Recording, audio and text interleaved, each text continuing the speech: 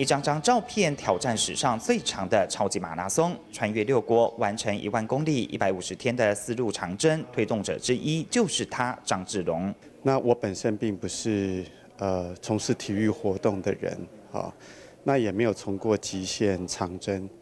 不过呃，当这样的构想来的时候，我觉得很兴奋，也有很好的理想。空前壮举受到长跑选手林一杰感召，辞去外商高阶主管一职，只为了离开舒适圈，挑战一切不可能。存在就是力量，有热情就有能力，所以呃，我觉得要勇敢做梦，然后不顾一切的向前。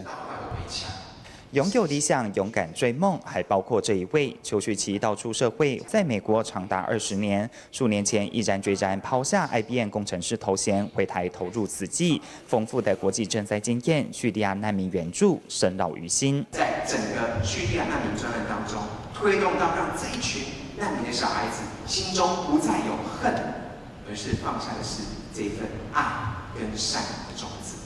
两人精彩的生命转弯故事，引发青年广大回响。如果你的那个理想是非常的纯粹，那全宇宙都会来帮你。如果心念很坚定的时候，真的人家看到你那一股热情，跟你坚定的那个态度，人家就会觉得，呃，你想真的是想要做这件事情。自己也要有付出，所以就会有一些成果。